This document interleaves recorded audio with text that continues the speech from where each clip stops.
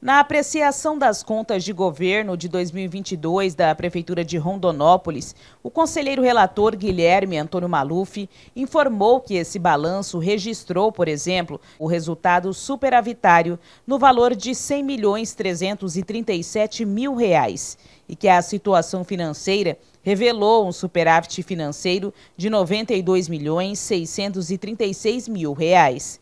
Com esses dados favoráveis, o conselheiro relator emitiu o voto. Voto no sentido de emitir parecer prévio favorável à aprovação das contas de governo do exercício 2022, Prefeitura de Rondonópolis, sob responsabilidade do senhor José Carlos Junqueira de Araújo, o conselheiro Guilherme Antônio Maluf também foi o relator do balanço de governo de 2022 de Nova Nazaré. O município também apresentou superávit financeiro e ainda cumpriu os limites e mínimos constitucionais.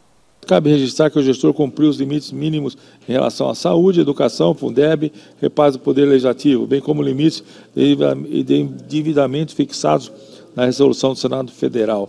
Na conclusão da leitura do voto do relator em plenário, o conselheiro Valdir Júlio Teis sugeriu a instauração de uma tomada de contas para apurar eventual atraso no recolhimento da Previdência Social no município. A sugestão foi acolhida pelo conselheiro relator e o voto pela emissão de parecer prévio favorável à aprovação.